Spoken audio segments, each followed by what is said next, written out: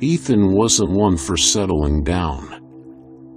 He craved the constant hum of new places, the thrill of unfamiliar languages, the warmth of chance encounters.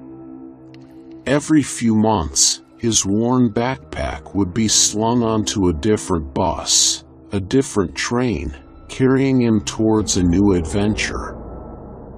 Europe, with its patchwork of cultures and rolling landscapes, was his current playground. Summers were spent following the harvest, his calloused hands nimbly plucking peaches in Greece or cherries in Italy. Winters, however, demanded a southward escape, a chase for the elusive sunshine. Last year, in the vibrant chaos of 1989, Venice had held his attention for a glorious October. After a three-week stint helping out at a bustling canal-side trattoria, the familiar itch for movement started to gnaw at him. This time, he yearned for something different, a slower pace, a chance to truly soak in the passing scenery. So, instead of the usual budget airlines, he opted for the chugging romance of the Balkan Express, a train that meandered its way through Yugoslavia before crossing into Bulgaria and finally reaching its destination, Sofia. The journey promised a day and a half of leisurely travel, a perfect opportunity to stretch his legs, devour his dog-eared travel guide, and perhaps strike up conversations with fellow wanderers. As the train rattled out of Venice, the carriages held a sleepy quietude. Ethan spent the first few hours gazing out the window, the sun dappling the Italian countryside in a tapestry of gold and green.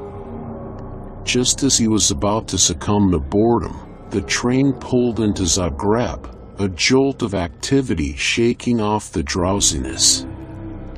A flurry of passengers disembarked, replaced by a new wave of travelers. Among them were two young women, their laughter echoing down the corridor, their faces brimming with the infectious enthusiasm of backpackers on a mission. Curiosity piqued, Ethan struck up a conversation. He learned their names were Melanie and Carol, American adventurers making their way across Europe. They were heading to Bulgaria as well, though their itinerary included a detour to a small town called Bela Palanka. Ethan found himself easily drawn into their orbit. Their easy laughter and shared sense of adventure were a breath of fresh air.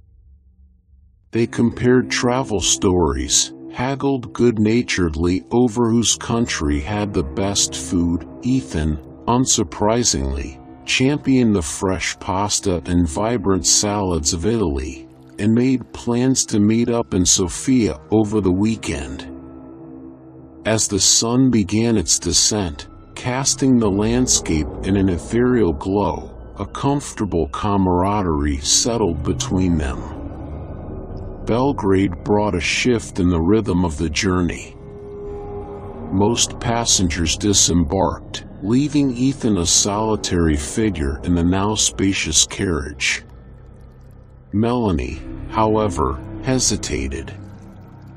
Why don't you join us for dinner, Ethan? she suggested, noticing his thoughtful expression. Carol echoed the offer, her smile warm and inviting. Ethan's stomach rumbled in agreement. He was indeed low on funds, his budget stretched thin by the unexpected delay in Venice.